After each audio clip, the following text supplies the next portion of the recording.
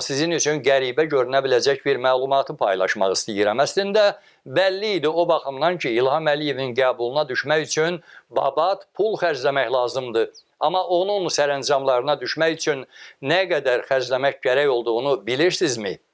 Xatırladım ki, bu məlumatı mənə ilə prezident administrasiyasında işləyən tanışlar ötürüb. Nədir bu xəbərin təfsilatı? Sən demə, İlham Əliyev kadr təyinatlarını, xüsusilə də orta ranglı məmurların təyinatlarını dəmə qoyulmuş sərəncamlarla tənzimləyir. Yəni o postlarda ki, hələ birinci şəxs təyin edilməyib və əvəzedici vəzifə səlahiyyətlərinin müvəqqəti icraçısı təyin edilib yaxud nəzərdə tutulub, həmin adamların vaxtı elə həmin yarımçıq təyinat günlərindən başlayaraq daşa bağlanır. Bu daş da etimadnamə adlandırılan bir dəftərxana daşıdır. Bu daş sənəddə ki, əlbəttə siz onun daşa yazıldığını təsəvvür etmirsiniz. Mən də təsəvvür etmirəm. Sadəcə obrazlı şəkildə belə deyirəm.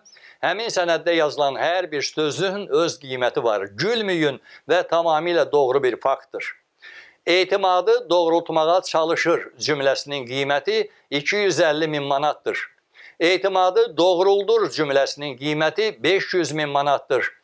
Etimadı tam doğruldur ifadəsinin qiyməti isə 1 milyon manatdır. Çünki bu cümlədən sonra prezidentin sərəncamının hazırlanıb imzalanacağı 100%-ə yaxın bir əmsaldır.